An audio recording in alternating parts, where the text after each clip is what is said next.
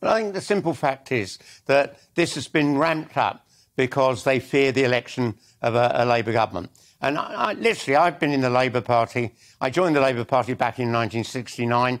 In all that time, I've never heard anyone make an anti Semitic comment.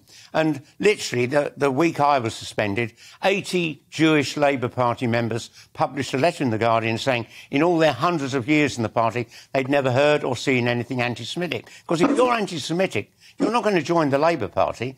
But for a century, the Labour Party was the political homeland for Britain's Jewish community. But it, yeah, but it isn't anymore. The evidence. And it certainly wasn't when you were in it, Ken. You ended up having a stand-up row with John Mann in the BBC, actually on the steps. You made some of your own colleagues so furious that they couldn't wait to see you out.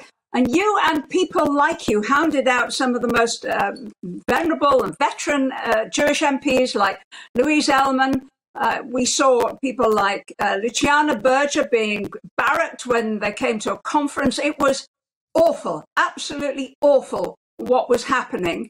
And I didn't hear a word of condemnation from you. I heard you say what you said at the very beginning of your remarks, which is, oh, it was all exaggerated. No, it wasn't all exaggerated. It was a serious, serious problem, and it has not yet been resolved, despite the fact that you and people like you have been thrown out of the party.